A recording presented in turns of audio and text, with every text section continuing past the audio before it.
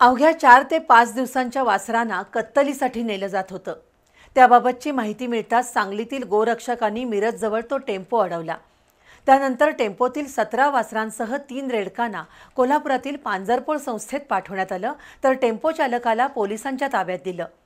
नुकतीच जन्मलेली ही वासरं तहान भुकेनं अक्षरशः व्याकुळ झाली होती मात्र पांजरपोळ संस्थेत या मुक्या जीवांना सांभाळलं जात असून दिवसाकाठी चाळीस लिटर दुधाची आवश्यकता आहे. त्यासाठी सरासरी रोज दोन हजार रुपयांची गरज असून या वासरांच्या संगोपनासाठी दानशुरांनी पुढे येण्याचं आवाहन संस्थेकडून करण्यात आलंय. सांगली जिल्ह्यातील ग्रामीण भागातून काही वासरांना आणि खोंडांना कत्तलीसाठी नेलं जात असल्याची माहिती हिंदुत्ववादी कार्यकर्त्यांना समजली. त्यांनी या टेम्पोचा पाठलाग करून चालकाला पकडलं.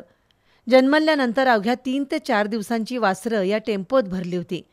हिंदुत्ववादी कार्यकर्त्यांनी टेम्पो चालकाला पोलिसांच्या स्वाधीन केलं आणि सांगलीतील या गोरक्षकांनी कोल्हापुरातील पांजरपोळ संस्थेतील डॉक्टर राजकुमार बागल यांच्याशी संपर्क साधला. गेल्या दोन दिवसांपासून सुमारे वीस वासरं आणि रेडकं कोल्हापुरातील पांजरपोळ संस्थेत आश्रयाला आलीत. त्यांना दिवसातून दोन वेळा दूध द्यावं लागतं. चाळीस लिटर दुधाची गरज भागवण्यासाठी दिवसाकाठी दोन हजार रुपये खर्च येतोय. या वासरांचं संगोपन करण्यासाठी प्राणीप्रेमी नागरिक आणि दानशुरांनी पुढे यावं असं आवाहन डॉक्टर राजकुमार बागल आणि संस्थेचे विश्वस्त रमणभाई पटेल यांनी केलंय.